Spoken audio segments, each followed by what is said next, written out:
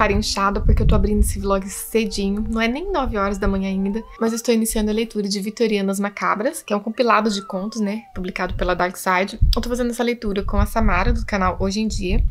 Mas eu vou gravar em formato de vlog porque eu quero conversar melhor com vocês sobre esse livro, que eu acho que ele vai ser muito interessante pra gente falar sobre a era vitoriana. Eu acabei de ler uma introdução escrita pela Márcia Luiza, em que ela apresenta um pouco é, o período vitoriano, de onde surgiu, que foi entre o ano 1837 até 1901, em que a rainha Vitória, né, esteve lá no poder de seu reinado. E a gente também conhece um pouco sobre ela, por que essa era vitoriana partiu justamente do reinado dela. A gente conhece desde o nascimento dela, quando ela se casou aos 18 anos. Ela não era para ser rainha, já que ela era quinta na linha de sucessão, mas acabou morrendo o tio dela lá, que tinha uma penca de filhos, uns 10 filhos, e como não eram filhos de um casamento que era no papel, né? Então ela acabou sendo a única herdeira. Então, de 18 anos, gente, imagina, 18 anos foi imposta rainha. Vocês imaginem a responsabilidade. 18 anos a gente acabou de virar adulto, né? E a gente tá pensando o que, que a gente vai fazer da vida. Agora imagine você ser posto num reinado ter que governar um país inteiro. Um reino inteiro, né? Ela virou rainha aos 18 anos e se casou com um primo. Ela acabou se apaixonando, né? Praticamente à primeira vista. Foi Instalove, né? Instalove da era vitoriana. Foi o primeiro Instalove com a própria Rainha Vitória. E os contos que foi selecionado nesse livro foi de autoras que viveram nesse período, de 1837 até 1900. Só que alguns contos não são desse período, tá? As autoras sim se referem a esse período, mas alguns contos não. Tá? Ainda não comecei, mas eu tô passando essa informação para vocês, já para vocês estarem cientes. Então a gente acompanha aqui um pouco da história da rainha, que ela casou com o primo dela, ela era super apaixonada, só que depois de alguns anos, ela acabou perdendo, né, seu consorte, seu rei. Gente, ela entrou numa depressão profunda que vocês não têm noção. Ela era tão fissurada por esse consorte dela, por, pelo seu marido, que ela mandou fazer uma máscara, é, aquelas máscaras Ai, esqueci o nome, de gesso, né? Com o rosto dele, mandou fazer da mão dele. Ela dormia com essa mão de gesso, de tanto que ela sentia falta dele. Enfim, ela entrou num luto mesmo eterno e as pessoas do reino dela também entraram, que ela meio que impôs, né? Obrigou as pessoas a passar por aquele luto com ela. Então foi anos muito macabros que as pessoas acompanharam esse tempo de luto da rainha. Até que pro final do seu reinado, nos anos finais, né, deu um estralo nela que ela falou: peraí, né, tô cansada dessa vida doméstica. E tinha várias pessoas lutando, porque como ela era rainha, né, uma mulher que tá, comandava o reino, então as pessoas admiravam muito ela e lutavam pelos direitos das mulheres, pela igualdade. Ah, inicialmente, ela não aprovava muito. Ela afirmava que as mulheres tinham seu papel mais né, submisso aos homens e que elas não tinham os mesmos direitos que os homens. Ela fincava isso na cabeça, até que ela, como eu falei agora há pouco, né, é, nos anos finais de seu reinado, deu um estralo nela, ela acordou, ela viu que ela mesma não gostava daquela vida doméstica dela e ela floresceu, vamos dizer, usar esse termo, ela floresceu. As pessoas ficaram muito felizes de ver a rainha se reerguendo, né, sentimentalmente, se recuperando depois de todos aqueles anos de sofrimento com a perda do marido. E ela viu que realmente não era aquilo que ela estava pensando em relação às mulheres, que as mulheres tinham, assim, direito, né? Direito à autonomia, à liberdade, né? Ao direito de voto, ao direito de expor sua opinião. Enfim, eu dei uma pincelada, eu tô aqui falando há sete minutos. Agora eu vou entrar nos contos depois eu venho falar mais com vocês que eu tô achando, associar um pouco ao que eu falei para vocês sobre a, ao tempo, né, da rainha, era vitoriana. Agora eu entendi um pouco mais, ouvi muitas pessoas falando, eu não tinha procurado a fundo para entender o período exatamente também qual que era, mas já, só pela introdução já gostei do livro. Espero que continue essa pegada é bem instrutiva, bem gostosa durante os contos também. E já volto para falar mais com vocês, porque eu já falei demais essa introdução. Tô aqui fazendo umas rosquinhas de coco, que tá acabando o pão. Não quero ficar sem nada pra tomar café. Vou mostrar pra vocês que bonitinho que fica. Aqui essa remessa, que tá aguardando pra entrar no forno. Aqui já tem uma penca assando. Elas vão ficar assim, com leite condensado, coco. Vão ficar assim num pote. Gostoso, gente, fica muito bom. Já cutuquei leite condensado e o coco, né? Porque eu sou dessa, não posso ver um doce. E agora eu vou dar continuidade ao vlog, né? Vamos lá. Eu já li quatro contos de Vitorianas Macabras. Eu tô gostando do livro, tá? Só que ele tem uma pegada bem sombria, bem gótica, característico da época, tá? Então, se você for querer pegar esse livro para poder sentir medo, apesar de que depende do seu grau, né, do que você acredita, do quanto você já leu ou assistiu histórias de terror, mas pelo menos em mim não tá dando, tá sendo bem tranquilo. Todos os contos têm aura sombria, assustadora, e o que eu mais gostei até agora desses quatro foi o último que eu li, por isso que eu até parei e resolvi falar com vocês que foi esse daqui, A Prece da Violet Hunt. Foi o que eu mais gostei, o que mais me cativou. Por quê? Ele, eu vou falar só por cima pra atiçar a curiosidade de vocês. Ele conta a história de uma moça, ela é recém-casada, faz um ano com o marido dela, porém o marido dela acabou de falecer. E bem na primeira página do livro, ela tá deitada lá do esposo dela falecido e ela tá abraçada a ele, presa a ele, desesperada, chorando desesperadamente, porque ela ama ele demais, ela não quer perder ele e ela tá grávida também. Sabe aquele desespero absurdo que literalmente expõe?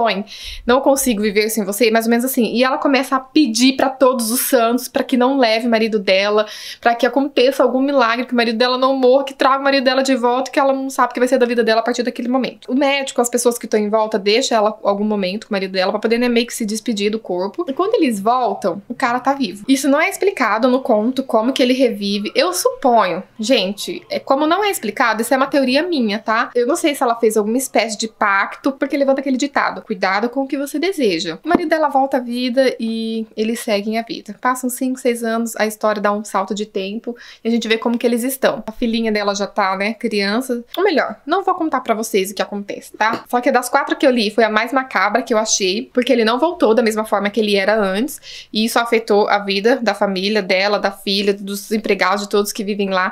Gente, é uma coisa muito sinistra, porque ele tem ciência de que ele deveria estar morto, ele não tá confortável com aquela situação, mas tem algo muito mais sinistro por trás, nas descrições que eu vou deixar para vocês, para vocês verem. Enfim, não vou falar mais nada, tá? Esse foi o, o, que eu conto que eu mais gostei até agora, mas eu vou continuar a leitura. E se eu não me engano, foi essa autora, essa Violet Hunt. Foi.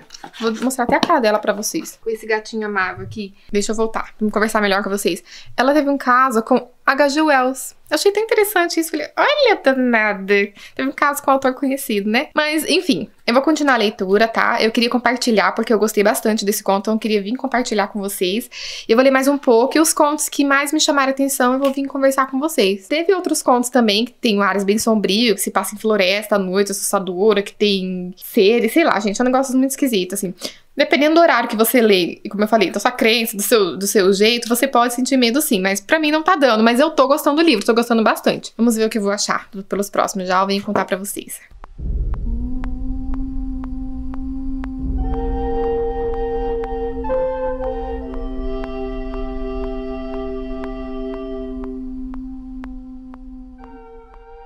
Eu tô muito sono. Eu peguei para ler um conto agora, ele tinha ah, ele tem umas 25, 30 páginas. Gente do céu.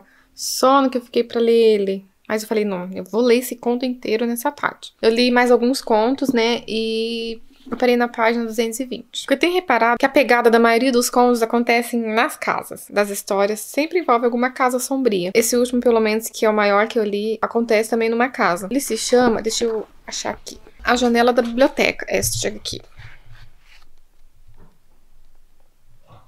Bem, e o que, que esse conto trata? Eu vou falar um pouco dele para vocês, para contextualizar um pouco vocês sobre os contos. Eu não vou falar de todos, mas de alguns para vocês terem ciência. Porque a gente vai acompanhar a história de uma menina, creio que é uma adolescente. Ela acho que tá passando uma temporada de férias na casa da tia dela, a tia Mary. E ela gosta muito de ler. Ela fica na janela da casa da tia dela lendo todos os dias, praticamente o dia inteiro. E fica lendo e olha pela janela, olha a movimentação e continua lendo. E a tia dela, a Mary, recebe visitas também, as senhorinhas da idade dela, todo santo dia, toda tarde. E às vezes, quando a menina tá lendo, ela também fica ouvindo a conversa das amigas da tia dela, né? E numa dessas visitas, ela estava prestando atenção na conversa, viu que eles estavam falando sobre uma janela, especificamente a janela da biblioteca do outro lado da rua dela. Até então ela não tinha reparado muito, ela estava se dedicando à leitura não tinha reparado, né, nessa janela. E viu o pessoal falando qual que era o mistério dessa janela, se é ou não é uma janela. E eu marquei até um ponto interessante aqui, que eles comentaram se o fato dessa janela ser falsa, mediante uma política que teve na época, porque você tinha que pagar um imposto referente à quantidade de janelas que você tinha na sua casa. E quem não tinha condições e queriam uma casa um pouco mais bonita, mais esteticamente, eles desenhavam as janelas, né, para poder dar uma aparência melhor na casa. Então eles levantaram essa questão: será que essa janela não é falsa, não é simplesmente pintada? Achei interessante marcar isso porque o Miquel tinha mencionado nos Miseráveis, se não me engano. E é a primeira vez que eu encontro isso na literatura depois que o Miquel tinha mencionado isso no livro que ele tinha encontrado, né? Aí com esse questionamento, o pessoal foi embora. A partir daí que a menina começou a reparar na janela do, do outro lado, né, da biblioteca, da onde que ela ficava, ela começou a reparar. E ela começou a observar que por trás da janela ela conseguia ver um quadro na parede, conseguia ver uma mesa, e ela via muito um rapaz, um homem, de costas, sentado e escrevia. Esse rapaz escrevia, e às vezes ele levantava, andava pelo cômodo e voltava, escrevia, mas ela não conseguia ver o rosto dele de frente. Ela ficava torcendo para que ele virasse, ela conseguia ver, visualizar pela iluminação que ele era loiro, ela não conseguia ver o rosto dele. E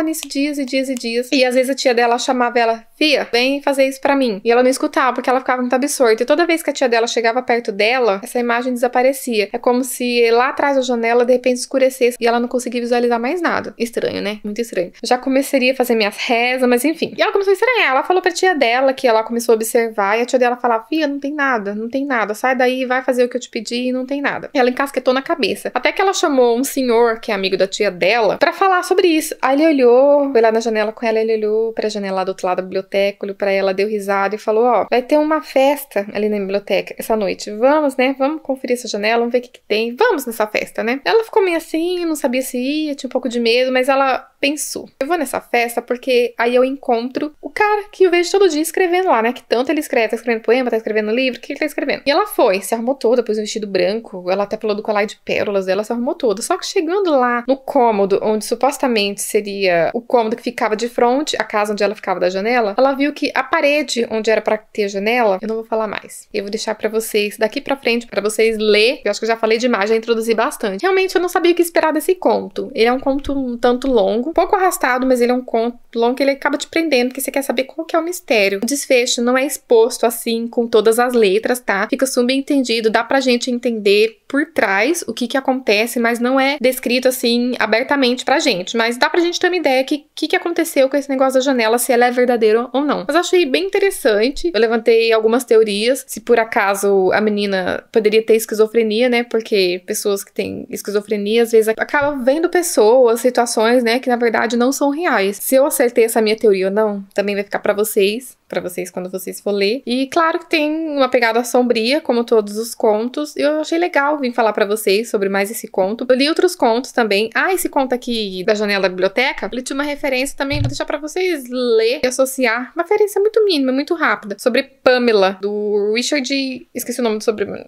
dele agora, do sobrenome dele. Eu sei que eu li esses dias, não saiu resenha ainda. Vai demorar, talvez vai demorar um pouco pra sair, provavelmente. Mas eu falei num vídeo de lidos sobre ele que ela faz uma referência, acho que a tia dela, que é muito tão casta quanto a Pamela. Eu li outro, um conto bem curtinho também da Charlotte Brontë, que fala sobre Napoleão, tá? Ele é só duas folhas, então acho que nem convém contar para vocês, porque senão acaba perdendo a experiência. Li outros contos também, uma carroça lá meio assombrada, mas eu quis comentar sobre esse que foi o que tá mais fresco na minha memória e mais recente. Eu vou ler mais um pouco, depois eu vou conversar com vocês, porque eu vou estudar agora, semana que vem tem prova. Tô intercalando minhas leituras com a faculdade. Tô com um pouco de sono. Eu queria até dormir à tarde, até pensei em dormir, mas se eu dormir à tarde, depois eu não durmo à noite. Eu sou dessa. Então agora eu vou estudar, daqui a pouco o Miquel chega e logo eu venho conversar mais com vocês.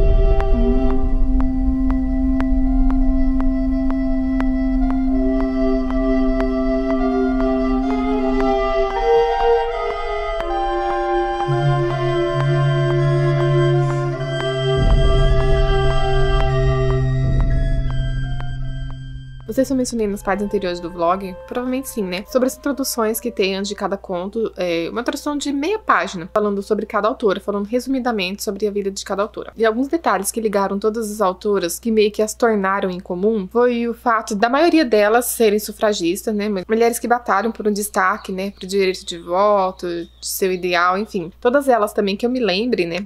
Tinha uma posição social favorável que as destacasse também. Algumas eram casadas, pelo menos a maioria. Esse povo também tinha os animais de estimação, viu? Se Miquel vê ele vai ficar doido querendo criar um aqui em casa, do jeito que o bicho é, querendo animais exóticos, né? Pelo amor de Deus. As mulheres realmente lutavam para se destacar na época, né? Imagina as coisas que elas escreviam, além dos contos de terror, algumas coisas um pouco mais ousadas, tanto que o povo não ficava de cabelo em pé. Eu achei legal em comentar essas coisas com vocês. A aparência delas álcera, talvez, como engana, mas por dentro, que manda né, o coração, é os pensamentos, é a luta que elas batalhavam todos os dias. Que interessante isso. Falta muito pouco para mim terminar o livro. Falta, deixa eu ver quantas páginas. Deve faltar umas 30, 40 páginas para me acabar. Agora a gente vai contar um pouco mais sobre a vida da Rainha Victoria, parece. Pelo que eu percebi, parece que acabou os contos, né? Tem alguns filmes no final também que tá mostrando que eu queria assistir, ver se eu consigo assistir alguns, mas eu não sei se eu vou falar nesse vlog. Talvez eu mencione alguns, mas eu queria fazer um vídeo separado. É minha intenção. Vamos ver se eu consigo assistir alguns filmes e indicar no vídeo separado. Tem até uma outra gente suivantes aqui, mas eu já assisti. Vou tentar assistir outros que eu não tenha assistido ainda para vir comentar com vocês e indicar. Já volto para vir finalizar para vocês o vlog.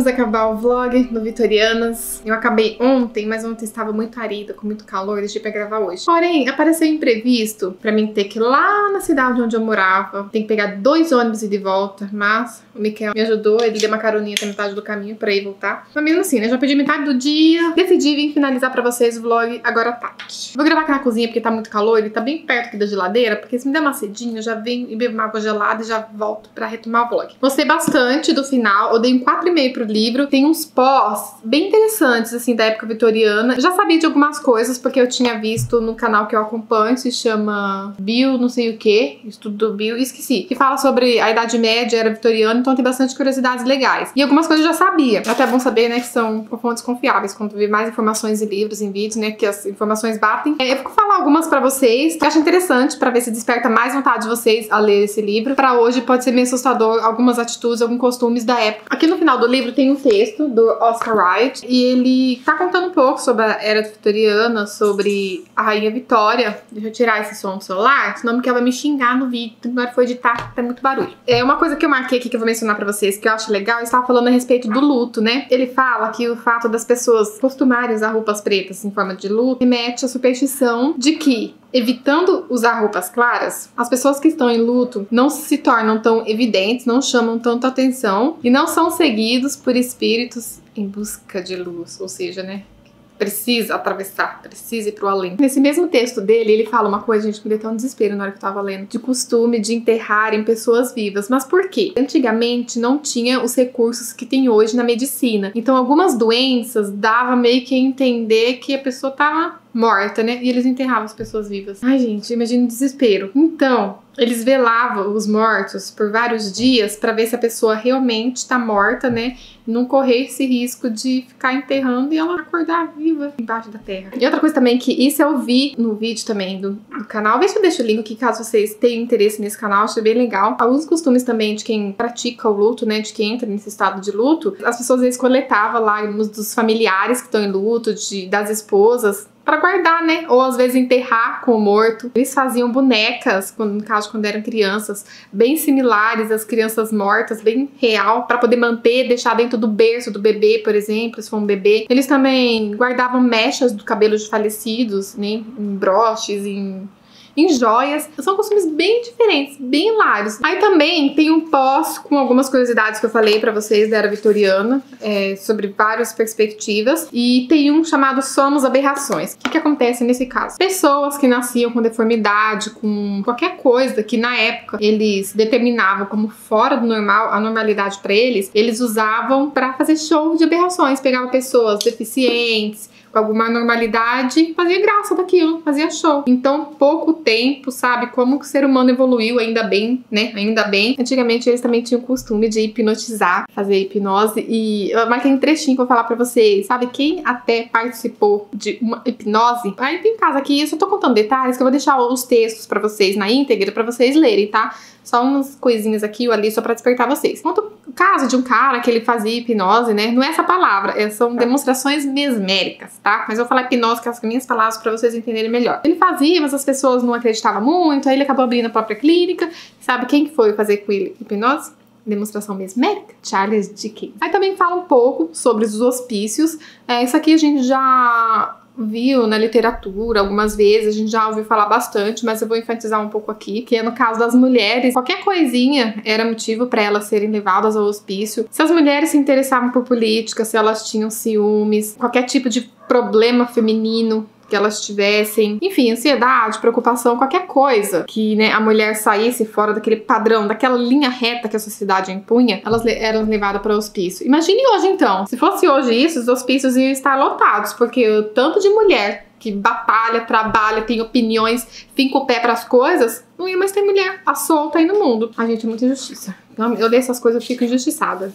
Deixa eu ver o que, que tem mais que eu posso falar pra vocês. Ah, conta a história também do cemitério Highgate. Highgate, tá? Só vou contar por cima também, que eu vou deixar pra vocês entenderem o contexto. Uma história de uma mulher que morreu. Vou deixar também pra vocês descobrirem. Mas passou-se vários anos, quando eles reabriram o túmulo, a mulher estava intacta. É, não explicou o motivo, tá? Não sei se fizeram alguma perícia, alguma exame, alguma coisa, né, para descobrir por que, que o corpo dela não. Mas ficou bem curioso. E o fato dessa mulher não ter se deteriorado, né, ao longo dos anos, foi ela que foi inspiração pro livro do Drácula, do Bram Stoker, né? Para quem leu, sabe que tem uma personagem que é a Lucy, tem um caso parecido, né? Parecido para quem leu. E ele se inspirou nela. Mais detalhes, leiam o livro e leiam este livro também para vocês entenderem. Bem, eu vou deixar o resto para vocês porque tem indicações de vários filmes também, filme da Victoria, né? Tem bastante edições dos filmes da Victoria que foram lançados. Já que eu vou assistir, tô pensando em gravar um outro vídeo. Não sei se vai dar certo, tá? Eu tô pensando, vamos ver se vai dar certo meus planos. Tem alguns filmes que eu não conheço. Esse, esse filme aqui, Norte Sul, eu sou doida pra ler o livro, gente, mas eu não tenho. Eu tenho um que foi publicado pela editora Pedra Azul, que acho que foi inspirado, tem alguma relação com o Norte Sul, mas não li ele porque eu não li o livro Norte e Sul, porque é caro. Tem.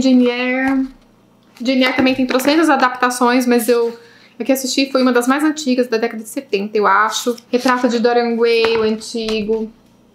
Eu creio que esses filmes, a maioria... Não, tem filmes recentes, mas a maioria é filmes antigos. Finitude.